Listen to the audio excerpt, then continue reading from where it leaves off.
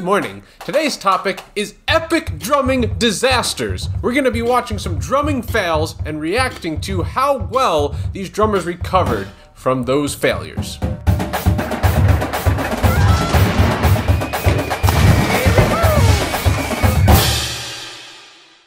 Any live performance situation, there is a lot of unexpected stuff that can go wrong. And in this video, we're gonna be watching some really weird and very unexpected stuff. But before we get into this, make sure that you click that subscribe button. We are almost at the goal of 69,420 subscribers. And also, if you don't mind, please click that like button. Okay, this first disaster is really, really stupid and should definitely not have ever happened. So this is the West Point band field music group called the Hellcats. Now these guys are the best in the business. These military musicians have years and years of experience and they go through a rigorous audition process just to get the spot in the Hellcats.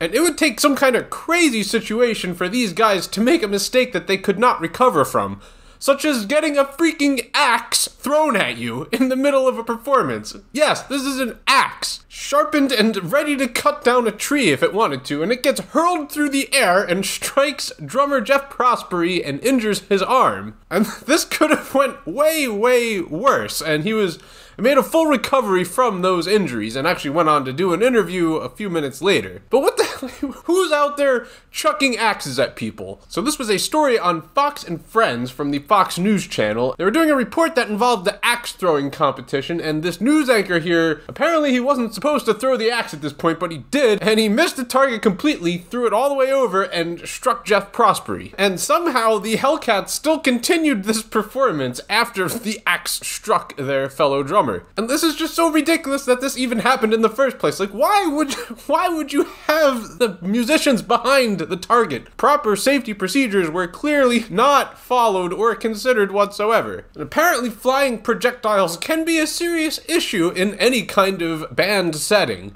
such as in this next video here.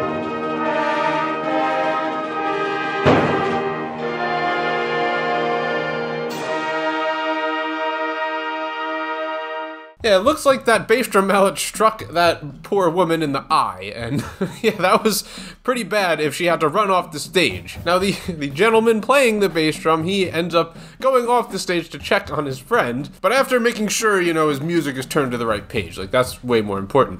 I really hope that she turned out okay, because that could have been pretty bad if that hit her in the eyeball. I actually had something kind of similar happen to me in middle school. I was playing the bass drum very loudly, and the mallet head actually came shooting off of the mallet, like it broke because it was a really old and crappy mallet, and ended up like flying across the room and landed in my friend's lap, and it was actually really hilarious, which is the perfect segue to our next category of videos equipment failures. So this happens pretty often to marching percussionists. Like you have your harness set up with all these like nuts and bolts and there's a very high chance that some will come loose if you don't properly maintain it constantly. And I've had stuff break all the time. Luckily never during an actual performance which is not so fortunate for some of these people. Here we have the Cavaliers Drum and Bugle Corps doing their encore performance in 2006 after they won the DCI championships. Yeah! Yeah, honestly, that was a pretty epic equipment failure. Like that guy overhyped the release so bad that his drums just flipped up and off the harness. And honestly, like since it was the encore performance, like not being judged, it's like, oh, like whatever, it doesn't matter. It's not finals. But here we have Carolina Crown 2014. This is finals. So this poor snare drummer, his drum just falls off of him in the middle of finals. This is the competition you've been working on all summer. And this was super lucky that nobody tripped over this drum. Like, look how close this tenor player came to tripping on the drum. But this actually turned out really, really cool. So the percussion judge grabbed the drum and ran all the way over to this member and gave him his drum back so he could finish out the show.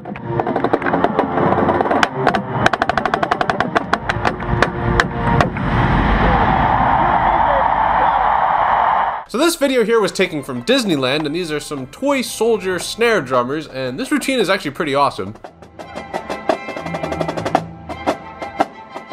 And everything's going fine until this happens right here. So if you look closely, not only did his snare drum fall off, the mechanism attaching the drum to the harness also broke off. So yeah, it's basically impossible to get the drum back on at this point unless you have like a toolkit available. But this recovery is actually really good. So the guy, he walks over and hands the drum to, I, I, guess, another worker, and just stays in character and admires the other three that are still out there performing. And these three snare drummers just continue to act out the show like nothing went wrong, and it went fine, it was great. And that's what you gotta do sometimes in a performance. If something goes horribly wrong, disaster happens, you gotta improvise and figure it out. The show must go on. Such as in this video here of a middle school band. Now, I'm sure a lot of you have seen this. This video went super viral a few years ago. So this is something that has also happened to me, thankfully never in a concert, but sometimes the cymbal strap will come loose if you don't like inspect and tighten it. So that's what happened to him. His cymbal strap came loose, cymbal fell off, and made a huge crash on the ground. But what do you do? You render a salute like a boss. And yes, concert percussion can be as disastrous, if not worse, than marching percussion, such as here with this triangle player.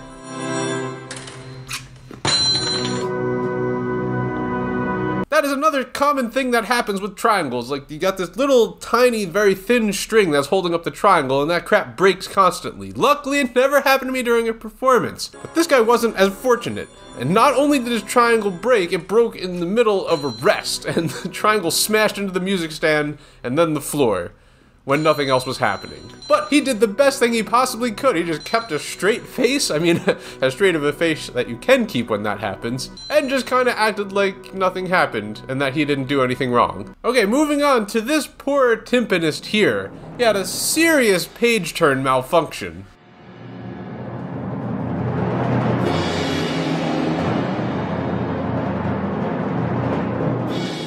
Yeah, that was pretty bad, but I think he made a really good recovery. So the music wouldn't turn and then it fell off the stand onto his drum, but he just kept going like nothing was wrong. And he was pro enough to know what came next in the music without reading it. When you rehearse stuff enough, you'll have it memorized, even if you don't think you do have it memorized. And I'm sure a few bars later, when he got an opportunity, he picked the music back up and got back into reading it. Okay, so that was quite a lot of gear malfunctions, but what happens if all of your gear doesn't make it to the show, which is what happened last week to Rhythm X. Their equipment truck broke down and they did not have any of their drums for the show.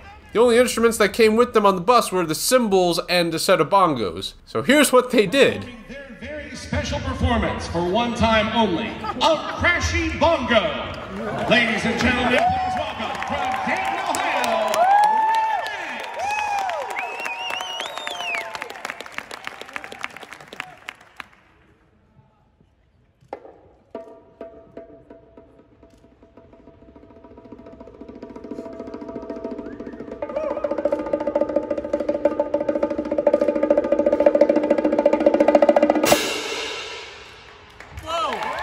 this amazing performance earned them the world record lowest score ever, 29.75. For some reason, the visual judge didn't like their show, and they got 11.15 points in penalties, I'm assuming for being way under time. But they still earned a spot in finals later that day, when finally their equipment truck was able to catch up to them. Then they performed their show that they've been actually rehearsing for several months. And they got first place with a score of 82.6. Like I've been saying this whole video, recovery is key. You gotta get creative sometimes and figure something out. And the Crashy Bongo show actually reminded me of this other indoor drumline show, believe it or not, entitled The Best Drumline Show Ever. This was from 2007. I think they had some kind of similar issue, because all they did was have their tenor line a couple of snare drummers just walking around without playing, and this random person just talking in French. And the person would just say some random thing that no one understood, then the tenors would play a lick and repeat that for five minutes.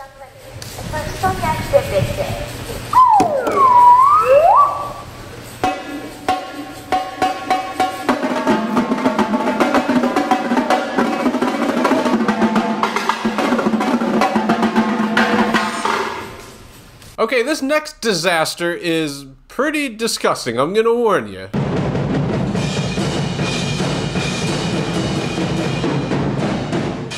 So, so far everything's going great. Like, this was actually a really good drum solo until, uh-oh.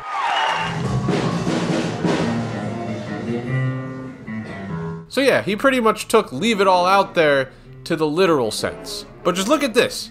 Right after he recovers from puking up his guts, he gets right back into it, picks up the groove like nothing happened. And of course, we gotta include some people falling down on this list. Now, falling down with a drum on, that is super awkward and never really ends well.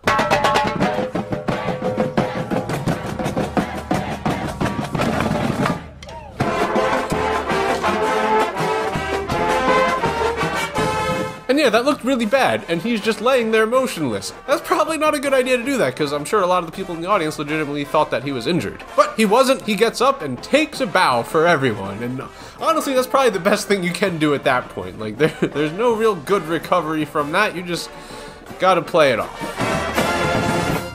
Unless you do something as stupid as this. Like, I don't even know what this guy is doing.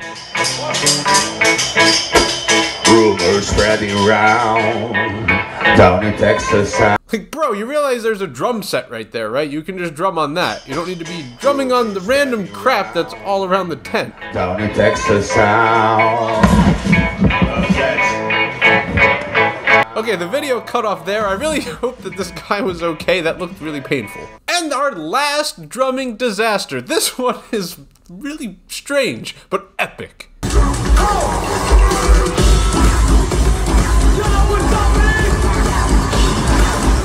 So this is a Tommy Lee drum solo. He had this giant contraption built where his drum set was basically attached to a roller coaster that went above the audience and he was doing flips while drumming. And this is pretty freaking awesome, honestly, and I would totally try this. Until this happened. It got stuck in the upside down position.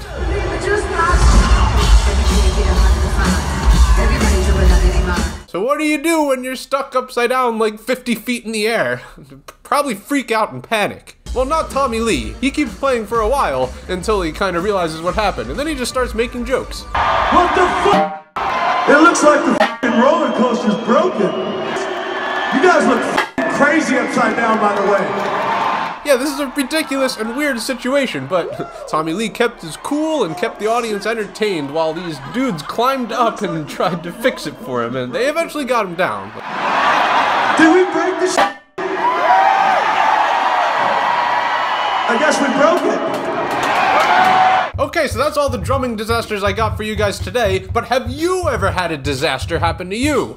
Compose a comment below and let me know. And also make sure you click that subscribe button and ring that Liberty Bell and click that like button.